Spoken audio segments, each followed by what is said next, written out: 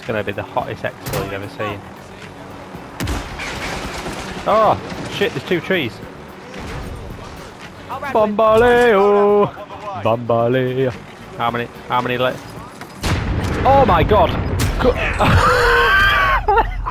The loadout box killed us!